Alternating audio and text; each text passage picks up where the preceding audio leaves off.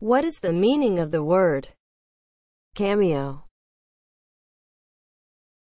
As a noun, engraving or carving in low relief on a stone as in a brooch or ring.